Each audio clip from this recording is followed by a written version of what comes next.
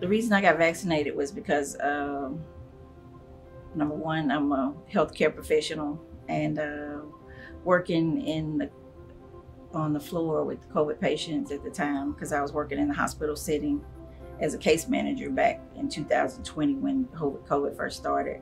So uh, I was seeing on a daily basis COVID. When the vaccine came out, I was just ready to, to get it done, to try to get the protection, to try to end this pandemic. From a medical standpoint, uh, I knew that uh, it was a virus and vaccine was the way to get rid of it. The only side effect for the first injection was just pain at the injection site um, for a couple of days and then it went away.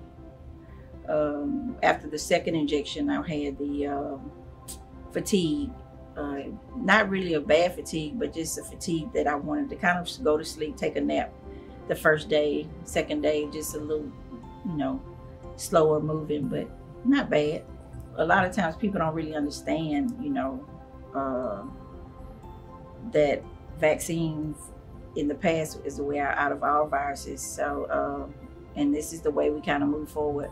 Folks are scared because it's a new vaccine and they kind of feel like it moved fast with us moving it out. But uh, we're this 2021, so things don't move like they did back, you know, in 1950. So I just say uh, I had faith in the scientists that were moving the vaccine forward and just felt like it was the thing to do. My children, uh, immediate family, they've all were vaccinated like within uh, probably three weeks, four weeks after I went through the whole process. And even my uh, extended family, my sister-in-laws, my brother-in-laws, my sisters, my nieces, they all vaccinated too as well. Get vaccinated.